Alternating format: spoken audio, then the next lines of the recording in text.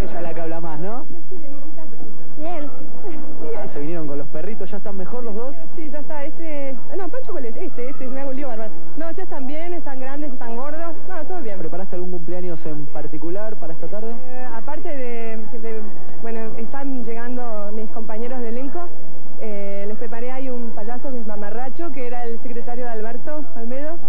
Después hay un titiritero y después va a ver un circo también. ¿Te gusta esto de festejar el cumpleaños a las nenas? Sí, me encanta. Yo te digo que yo lo disfruto como si fuera el mío. ¿Tienes alguna anécdota de algún cumpleaños de las chicas? Antes yo se lo festejo dos veces al año, porque con los compañeros de colegio y después acá cuando tengo que trabajar.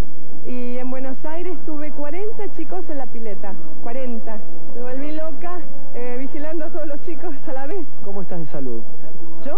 Bien, bien. Aparte ya estoy contenta también porque es hora de volver a casa, estamos extrañando a las tres. ¿Cómo va a seguir el trabajo para vos en Buenos Aires? El trabajo, bueno, en principio eh, ya di el sí para un programa de cómico de Consapag y después eh, Movete no sé qué va a pasar en Buenos Aires y bueno, y el teatro. Muchísimas gracias, vayan a disfrutar de- del cumpleaños de las nenas. Espero que comas algo